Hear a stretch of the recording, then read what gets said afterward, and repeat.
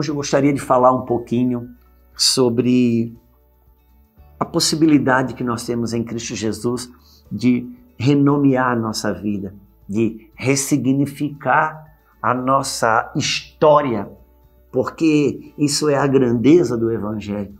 É por isso que a palavra converter é mudar de rota, é mudar de rumo, é mudar de direção. Mas não é só uma nova direção de vida que me diz que eu bebia, fumava, batia na minha mulher, agora não fumo mais, não bebo mais não bato mais na minha mulher. Em Cristo Jesus, nós somos renomeados, nós somos ressignificados de fato e de verdade.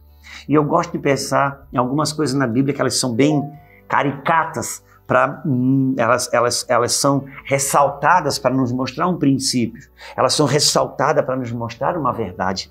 E eu gostaria de pensar sobre Jacó. Nós sabemos que Jacó ganhou o nome de Jacó porque ele era gêmeos e quando o, o, o irmão dele nasceu, a Bíblia diz que ele saiu agarrado no calcanhar, como querendo puxar para sair na frente. Por isso ele ganhou o nome de enganador, por isso ele ganhou o nome de usurpador. Era muito comum naqueles dias que um filho ganhava um nome é, muito atrelado ao tipo de parto que ele teve, um filho ganhava um nome muito atrelado às circunstâncias em que ele vivia, ele ganhava um nome que meio que determinava o que ele era e o que ele iria ser. E Jacó ganhou esse emblema, Jacó ganhou essa marca, Jacó ganhou esse DNA, é, é, é, esse carimbo de ser o enganador. E o que acontece é que, de fato e verdade, mais tarde ele veio a entrar num grande, uma grande tramóia, num grande engano, todos sabem que ele enganou seu, o seu pai para usurpar o direito de primogenitura do seu irmão. E chegou um momento que, na maturidade de Jacó, que ele entendeu que ele não podia mais prosseguir com aquilo, ele entendeu que ele não podia mais ir longe com aquilo e ele então decidiu voltar e encarar sua história e remir aquela, aquela identidade distorcida, remir aquela identidade marcada negativamente. Ele vai ao encontro do irmão para fazer um concerto e na metade do caminho, por causa dessa predisposição, ele tem um encontro real com Deus. Existe, ele vai dormir, ele vê uma escada e na escada Deus pergunta para ele, o anjo que aparece para ele pergunta: "Qual o seu nome?" E ele diz: "Jacó". Por que que o anjo pergunta qual o seu nome? Porque Jacó, quando ele foi é, enganar o pai, ele se vestiu com um pele de animal, porque o seu irmão era muito peludo, e ele, seu pai já estava velhinho, não enxergava mais, não tinha mais senso de, de percepção das coisas, dos seus sentidos físicos. Então, quando o pai perguntou quem é que está aí, e ele disse: Eu sou Esaú, me abençoa com direito à minha primogenitura. Então, quando o pai disse quem é que está aí, ele enganou, ele deu outro nome, ele deu o nome de Esaú, e agora Deus estava vindo na marca dele, Deus estava vindo na, na, no ponto crucial da vida dele, Deus pergunta: Qual é o teu nome? E ali ele não pôde dar outro nome, ele estava nu diante de Deus, ele teve que dizer: Deus, eu sou Jacó. Eu sou esse homem que engana, mas não é o que eu quero ser para minha vida. E ali ele tem um encontro tão poderoso com Deus e Deus diz: Pois não, saiba que a partir de hoje você é Israel. Você é um príncipe de Deus, porque Israel quer dizer príncipe. E ele teve a sua identidade redimida, a sua identidade redefinida, ele sai da sua queda, do seu estigmática da, da, da, da do, do, do, estigma de ser um, um, um, homem mentiroso, de engano, e ele ganha um selo de Deus, uma identidade de Deus, de ser um príncipe de Deus.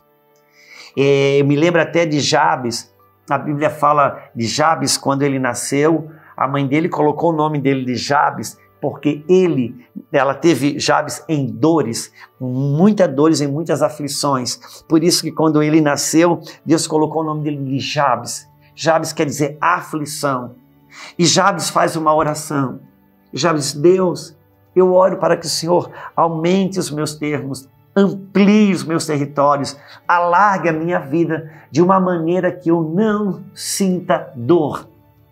Jabes, ele tinha um nome, dor, aflição, e era isso que ia seguir a sua história e a sua vida. Mas ele foi para Deus e disse: Deus, Deus, eu não quero ser fruto de, um, de uma marca que colocaram em mim.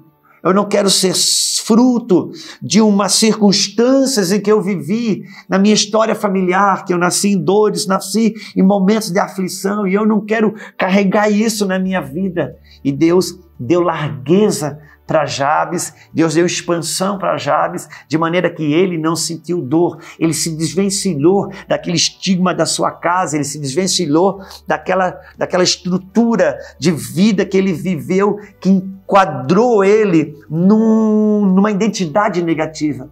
E Jacó também teve essa libertação.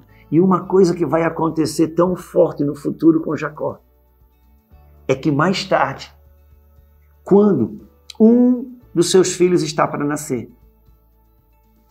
A sua esposa, Raquel, quando ela está para dar a luz, ela chega no ponto do parto e tão, tanta dor, tanto sofrimento, tanto sofrimento, que a parteira diz: Olha, fica tranquila, você vai ganhar o filho.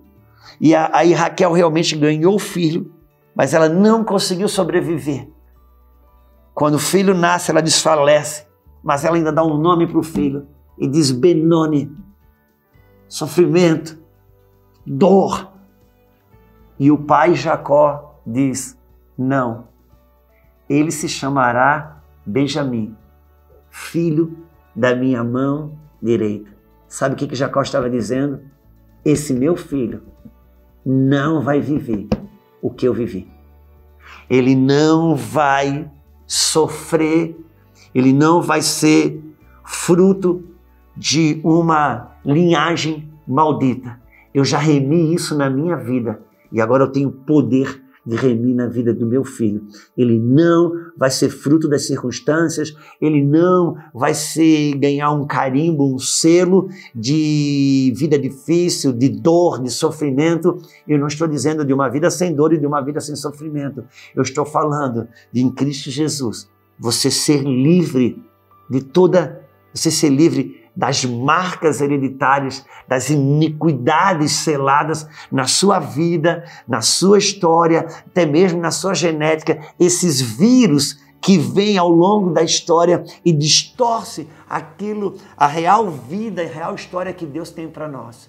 Então Jacó, quando nasce o filho, que a mãe vem dizer Benoni, eles não, ele será chamado Benjamim, filho da minha mão direita seus sofrimentos do, iniciais, sua história de vida difícil, não vai definir sua identidade, não vai determinar é, o seu futuro, não vai determinar a sua história. Não.